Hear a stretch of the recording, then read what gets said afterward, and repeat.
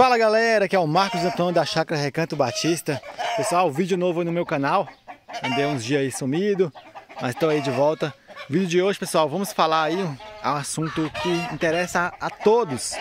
Todos que começam só, todos que já produzem há muito tempo Que é em relação a doenças. As principais doenças aí é, de alface, hortaliças aí na, na hidroponia. É, Pessoal, é, todos sabem que eu passei por muitos problemas esses últimos três aí meses, mais ou menos. Que a produção não tá legal, pessoal, não tá 100%. É, a gente tá batalhando aí, às vezes a gente pega uma, tira uma remessa boa, mas é, o prejuízo foi muito grande aí esses últimos três meses. É, as contas estão, estão no vermelho, é, devido à grande perca que eu tive aí de alface. E eu resolvi compartilhar com vocês aqui, pessoal, é, durante esse período aqui que eu estou trabalhando com hidroponia. Hidroponia, você pode ver, é uma hidroponia é, simples, né? Uma hidroponia assim, razoavelmente até grandinha. Tem a capacidade aí para bastante alface, só que agora tem pouca é, hortaliça aí no sistema, devido a esses fortes problemas que eu estou enfrentando. É, o principal problema, pessoal, que está me atacando aqui é o relação ao calor extremo. Tava muito quente mesmo eu não estava conseguindo soluções para poder produzir. A alface chegava num certo ponto aqui, pessoal, ó, e morria mesmo, murchava, é, a raiz apodrecia, né?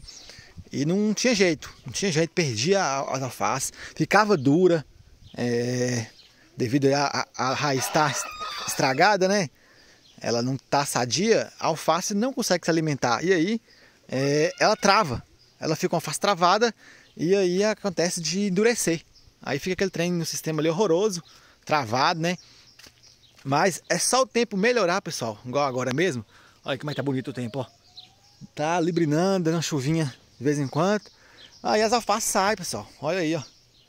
As alfaces tá bem bonita. Tava uma alface travada. As folhas novas começam a aparecer, ó. Bem sadia. É, então, aqui é o, o problema maior aqui é a questão do disso, o clima o clima muito quente que foi esses últimos é, anos aí, pessoal. Os últimos meses, quer dizer. E, então, é, isso aí acaba desanimando às, ve às, ve às vezes para produzir. É, tem algumas técnicas que a gente pode estar tá fazendo, né, para diminuir aí o calor, que é a questão do sombreamento. Eu uso 50%. Só que aqui já vi que na minha região não, não adianta. É, tem que ser pelo menos 70% aí de sombra por causa que é, o sol é muito quente, muito quente mesmo. A questão da banca, pessoal, banca eu fiz de 12 metros. Talvez se eu fizesse é, um pouco menor, uma banca de 6 metros ali, talvez também seria melhor aqui para minha região, né? Eu estou no norte de Minas Gerais, pessoal. É cidade de, para quem pergunta aí, cidade de Porteirinha, cidade pequena aqui no norte, cerca de 38 mil habitantes. Só que metade dessa população é zona rural. Então a cidadezinha é pequenininha mesmo. Mas a gente está é, com uma demanda grande de alface agora. Que quase ninguém está conseguindo produzir, né, turma? Esse período agora é muito difícil. Aí a alface, o preço vai lá em cima, pessoal. Tem gente vendendo alface 5, 6 reais aí já. É, no caso, é supermercado, né? A gente entrega um pouco mais barato. O último que eu entreguei, entreguei a, a 3,50. Mas pezinhos bem pequenos, pessoal. Isso aqui mesmo, se bobear, mais cinco dias aí, já vai embora. Já vai embora. É, mas aí, voltando ao assunto, pessoal, é, sobre o pigeon. O pigeon, pessoal, nada mais é que a doença que a raiz acaba apodrecendo. Só que ela não apodrece assim do nada, pessoal. Tem alguma coisa que influencia ela a apodrecer. Que aqui no caso é a alta temperatura, né? A alface é, acaba estressando ali devido ao forte calor, que a alface é, é ela, ela é para região fria, pessoal. A alface ela produz no frio, a melhor produção dela. Aí tem as variedades que eles falam que resiste ao calor, mas não fica bacana, pessoal. Não, eu já plantei aqui a Jonte, já plantei a Leila, já plantei a, a Jade, agora estou plantando agora a Psique, a Psique é, mas não está resolvendo muito não. Essa aqui é a Jonte, turma. Olha aí. Ela é uma face bonita, boa tal, mas no calosão não vai, não vai, não adianta. Pode, é uma face bem cara, inclusive.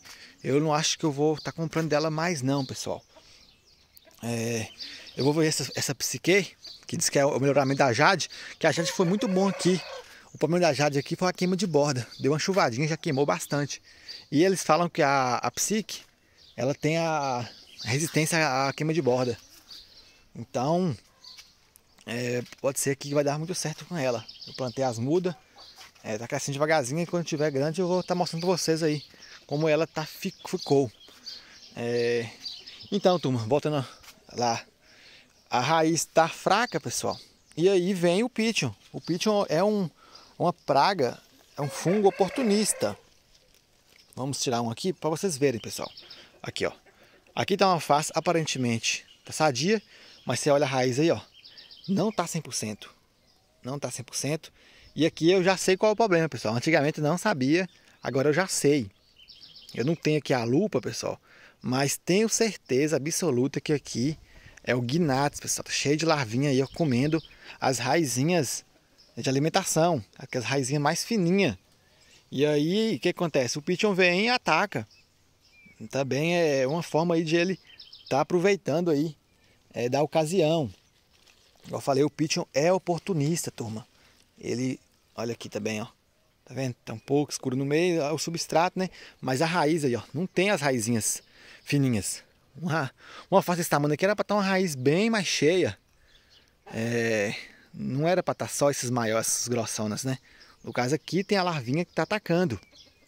É um, é um forte problema que acontece na hidroponia, que a produção acaba é, comprometendo todinha. Aqui é a, a, o pigeon e o gnats. Falei duas pragas já. O gnats, no caso, pessoal, ela é uma mosca. Uma mosca que bota os ovos e aí vira várias larvinhas.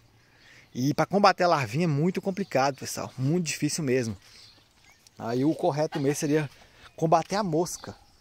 Dá um jeito aí de estar tá combatendo ela para não estar tá espalhando aí é, várias larvas no sistema. É, e o pigeon é oportunista. O pigeon vê a alface debilitada, ele vai lá, o fungo ataca a raiz, a raiz pudrece. Aí a raiz pudrecendo já era. Tchau. Perdeu a alface, pessoal. É, o próximo praga que eu vou estar tá citando aqui, pessoal, é, em número um eu coloco essa. É o Gnats com o Pigeon. Vou colocar os dois juntos porque um é, traz o problema do outro. E eu vou falar agora do, do, da outra, que é o Trips. O Trips, turma, é um insetinho pretinho. Aqui eu não vou achar ele agora, turma, por causa que choveu, aí acaba que dá uma limpada. Mas aqui tem uns ainda, ó.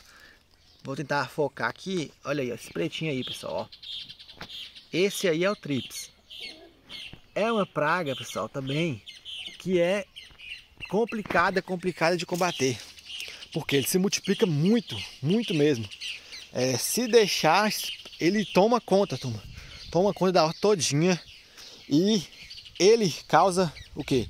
Ele rói a folha. A folha fica bem danificada. Só que esse não é o principal problema do trips. O principal está aqui, pessoal. Vamos, vamos procurar aqui que eu já avistei algumas que estão com o vírus. O vírus da vira-cabeça. É, deixa eu ver aqui, eu tava aqui, ó. Olha aí, pessoal, ó. Esse aqui é o principal problema do trips, ó. O mais perigoso que dá essa virose. Ela vai aqui no meio. É igual é, o nome já fala, vira cabeça. Ela começa a tortar assim essa folha e aí pega a alface todinha e já não tem mais jeito.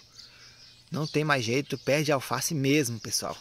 Olha aqui, aqui tá começando também, ó. Tá vendo? É, é terrível essa virose do vira-cabeça. Que eu tirei essa parte aqui, pessoal. Mas eu creio que não vai ter jeito não. Essa face aqui, ela tá contaminada já. Ela não, não tem como mais recuperar. É, no caso da, dessa, dessa virose. Aqui tem mais uma, turma, ó. Essa aqui. Aquela lá eu deixei porque eu já posso estar tirando ela e colocando aí num pacote de alface maior para agradar um pouquinho, né? Coloca uma a mais. Que tem muita folha boa, né? Olha aqui, já esse aqui não tem como não, ó. Já pegou todinho aqui, ó. Esse aqui vai para minhas galinhas. E é importantíssimo, pessoal. Pegou a alface aqui, não joga no sistema, pessoal. É, é, coloca no saco, joga, coloca no, no lixo. Lixo longe da horta, né? Ou então, quem cria galinha aí, ó, aqui, ó. Joga para as galinhas. Aí, eles vão fazer a festa, pessoal. Gostam muito de alface. Tanto que eu jogo aí, elas comem tudo. É, então, a segunda praga que eu vou colocar aí, que mais acontece, mais atrapalha a produção na hidroponia, é o trips, que aí ele traz a, virose do vira-cabeça. É, vamos lá, a próxima, pessoal. Vamos agora vir aí, porque a, a praga, que não, não é bem praga, é, uma, é um problema que dá mais em épocas de chuva. Eu tô aqui com a face americana, pessoal. Ó, tem umas bonitas, mas aí tá praticamente comprometida essa, essa alface aqui. Por causa disso aqui, turma. Olha aí. Isso aqui é a queima de borda, pessoal. Queima de borda. Olha que dó, pessoal. Uma face bonita assim, ó. Deu queima de borda. E aí, aqui não posso deixar ela mais fechar a cabeça. Não, não adianta. É, porque ela vai fechar aqui com essa queima de borda lá no fundo, vai virar uma podridão, pessoal. Isso aqui virou uma podridão. Então, a, o certo agora é tirar, vender logo, tirar as pontinhas, né? Dar um trabalhinho, mas não, não adianta deixar é, formar a cabeça agora. E aqui também, ó, aqui, pessoal, ó, a virose, ó. A virose na face americana também. Pegou, achou, já joga fora, pessoal. Não deixe, não adianta. Não vai recuperar. Pode jogar para as galinhas. Isso aí acontece muito, pessoal. Tá, tá dando demais aqui na minha produção. É, então, é um problema que acontece mais nesses períodos de chuva. E como aqui minha horta não tem o plástico, é só sombrite, no caso ainda acontece com mais é, frequência. Se fosse talvez a lona, é, um pouco a queima de borda. Mesmo assim, é, eu não quis colocar o plástico aqui na cidade porque chove muito pouco. Chuva aqui é, é bem raro mesmo, turma.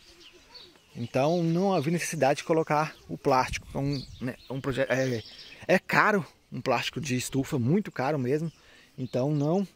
É, inclusive meus vizinhos aqui colocou e não recomenda é, colocar plástico aqui nessa região nossa, que é um clima muito seco, muito seco mesmo. É, então é isso, pessoal. Lá. Vamos lá, você tem três pragas já, né? É, a outra que eu vou falar para vocês aqui Agora não tá tendo muito delas. É, deixa eu ver se eu acho alguma aqui, pessoal. Para mostrar para vocês. Aqui, ó. Achei. Vou arrancar aqui. Olha aí. Esse risquinho aí, pessoal. Essa aí é a, é a larva minadora. Aparentemente, pessoal, ela aqui na minha região quase não aparece. Quando ela aparece, só faz isso aqui só. Risca uma, duas folhas ali.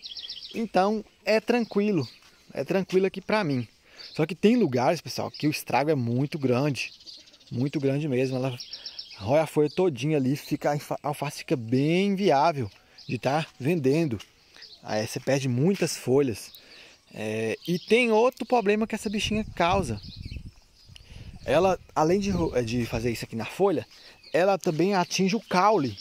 O caule da alface. É, Vou tirar um aqui para mostrar para vocês. Ela pega essa parte aqui, pessoal, ó, e vai raspando, vai raspando, assim para dentro do, da folha, né? Que acaba causando a ervilha, que é uma bactéria. Uma bactéria aí que dá na alface, que é, dá aquela podridão mole.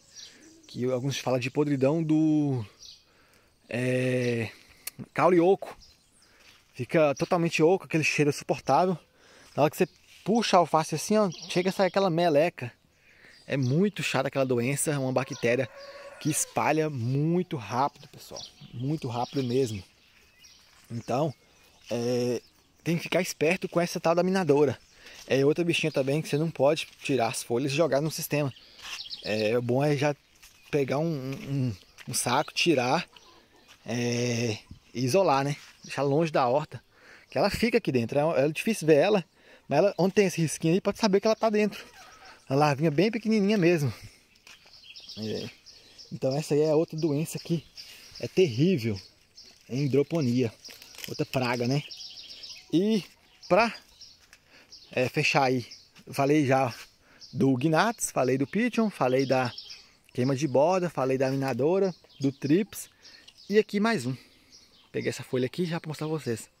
Também acontece mais em épocas aí é, de chuva, onde é o clima está mais úmido. Essa aqui é a cercosporiose. Essas pintas que dá na folha. Olha aí. É um, um fungo, né? Que acontece muito nessa época. Hum, até que o estrago dele aqui também não é tanto, pessoal. Perde algumas folhas, mas não chega a atingir demais. Eu lembro que ano passado eu tive muitos problemas na banca de telha. Eu acho que eu fazia a colheita e ficava muita folha é, podre assim, né? Em cima da lona. E aí acabou que deu demais essa doença, essa terrível doença aqui, ó. É, Nimura também, ela faz um estrago muito grande. Então é, é uma praga aí para estar tá se cuidando também. Não é fácil, pessoal. A hidroponia é cheio de desafios, cheio das doenças, das pragas. É, tem também um purgão, né, pessoal, que às vezes ataca a produção, mas é mais tranquilo de controlar. É, vamos lá também, outra doença que tem na hidroponia, deixa eu ver se eu vou lembrar mais alguma, turma. O oídio, oídio é aquele pozinho branco, dá ali. Geralmente aqui dá na época de, é, de vento. É só começar a ventar, o oídio aparece. Você chega a sacudir assim as folhas, vem aquele pozinho branco. Aqui tem umas mudinhas, pessoal, que estava bem atacada com trips. Eu consegui controlar algumas. E mas aí, ó, vira a cabeça tá aqui, ó. Tá vendo? Ó, vira a cabeça no mudinho, o que que, que que faz, pessoal, ó. Olha como é que perde completamente ali a muda. E aí você tem que ficar de olho. Olha aqui mais uma, mais outra aqui do lado, ó. Vai é, investigando aí o sistema, pessoal. Vai é, tirando essas que estão com problema para não estar tá espalhando tão rápido, turma. Aqui, turma, eu vou mostrar uma praga agora no, no couve. Eu plantei um couve aqui, ó. Um pouquinho só. Ele está com uma praga que aqui foi a primeira vez que eu estou vendo essa praga aqui no meu sistema. No caso, tenho mais de dois anos que eu estou produzindo e primeira vez que eu vejo ela aqui. Que é a mosca branca. Olha aí. Vou sacudir aqui, pessoal. Ó. Cheio, cheio de mosca branca, turma. Ó. Primeira vez que aparece a praga aqui, pra você ver. Dois anos de hidroponia, mais de dois anos, né? Aparecendo pragas diferentes aí no meu sistema.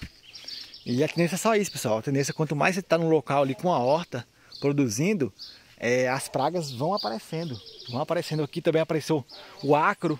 É, o acro também apareceu, que eu também nunca tinha visto. É cheio de problemas, pessoal. Tem também a lagarta, turma. A lagarta também gosta de atacar é, essa época de chuva. Tô até vendo uma, uma aqui, eu acho que não, não sei se é lagartinha. Eu acho que não, turma. Que comeu aqui, turma, ó. Comeu um pedaço aqui da folha, ó. Eu creio que tem lagartinha aqui no sistema também. Aí é outra coisinha chata, chata que, que come mesmo. Olha aqui a minadora aqui também, ó. Aqui eu já vou tirar ela já. Com certeza ela tá aqui dentro, pessoal, ó. Ela é bem pequenininha. Com uma lupa você consegue ver. É, tá identificando ela aí. Mas é isso, pessoal. O vídeo aí bem longo, mas muito importante aí. É, olha aqui, turma. Achei aqui, ó, no fraga. Olha o tamanho da lagartona na cebolinha, turma. Lagartona preta. Tem ela preta, tem ela verde. Tem de vários tipos de lagarta, pessoal. E ela faz um estrago, além de... Você pode passar uma vergonha aí, né, pessoal? Você mandar para um mercado e a pessoa achar uma lagarta dessa. Tem gente que odeia, odeia encontrar lagarto em alimento, né? É, agora é a hipocrisia por causa que muita gente quer comer alimento saudável, é, sem, eles falam que sem agrotóxico, né? Mas na hora que vê um bichinho desse aqui, não quer nem saber mais sua, sua, sua, suas hortaliças. Então é muita. é até irônico, né, pessoal? Alguém é, ficar com nojo aí de uma lagartinha dessa. Mas muita gente não gosta. Então na hora de fazer, é, embalar ali, você tem que ficar de olho, pessoal. Para não acontecer de levar lagartas assim é, no prato do, dos clientes, né? Então vou jogar ela no chão aqui e já matar ela, turma. É. Então é isso, turma.